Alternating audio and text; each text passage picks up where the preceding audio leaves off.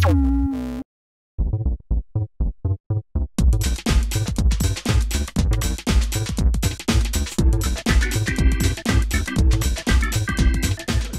pre psov Žiarsky chlpáč je pod správou mesta od mája. Za toto pomerne krátke obdobie sa podarilo nájsť domov takmer 50 psov, zrenovovať priestory objektu a v týchto dňoch sa začalo aj s centrálnym vykurovaním. Psíkovia, ktorí našli svoj dočasný domov v kotiarcoch útulku, už tak nebudú mrznúť.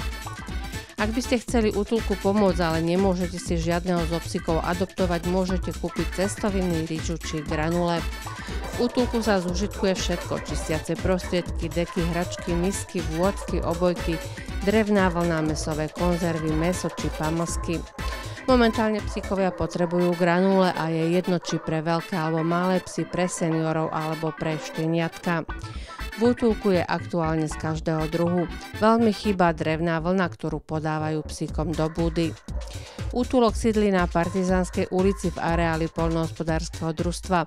Ak máte vzťah ku psom, no z rôznych dôvodov si žiadneho z nich nemôžete zobrať, môžete ich aspoň prísť vyvenčiť.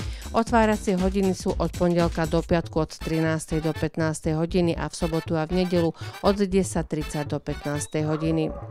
V prípade, že chcete navštíviť útulok mimo otváracích hodín, je potrebné sa vopred dohodnúť so správkyňou útulku na zverejnenom mobilnom čísle.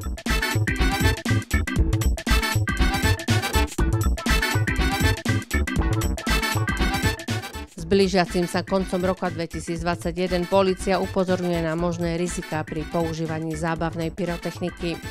Používanie zábavnej pyrotechniky upravuje zákon o banskej činnosti, výbušninách a o štátnej banskej správe. Každá obec či mesto si v rámci svojho zastupiteľstva upravuje používanie zábavnej pyrotechniky vydaním všeobecno záväzného nariadenia, kde zväčša stanovia čas a podmienky používania zábavnej pyrotechniky pre občanov daného mesta či obce. Za porušenie všeobecne záväzného nariadenia hrozí až 500 eurová pokuta. Polícia občanom odporúča, aby si zábavnú pyrotechniku kupovali výlučne u certifikovaných predajcov, ktorí ju predávajú aj s návodom na použitie. Najväčšie nebezpečenstvo predstavuje pre mládež rozoberanie a vylepšovanie zakúpenej pyrotechniky podľa návodov na internete. Ešte väčšiu hrozbu predstavuje podomácky vyrobená zábavná pyrotechnika. Nelegálna výroba a zhromažďovanie výbušnín sa môže klasifikovať ako trestný čin nedovoleného ozbrojovania. Trestné sadzby sa pohybujú v rozmedzi od 3 do 8 rokov, pričom v čase núdzového stavu za takýto skutok hrozí trest odňatia slobody na 8 až 15 rokov.